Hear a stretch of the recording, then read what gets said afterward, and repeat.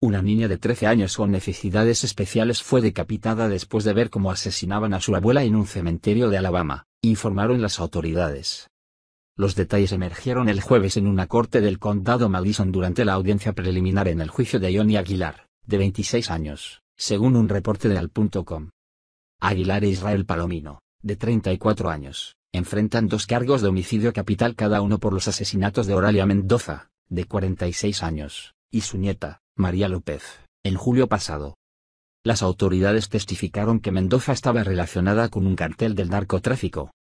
Los investigadores indicaron que el pasado 4 de junio, los hombres llevaron a las víctimas a un cementerio y Mendoza fue asesinada a puñaladas luego de una disputa relacionada con la venta de narcóticos. Según la policía, Aguilar les dijo a los detectives que Palomino lo obligó a matar a la víctima en un área remota, debido a que era una testigo. Se desconoce de momento si Palomino o Aguilar cuentan con un abogado. abogado.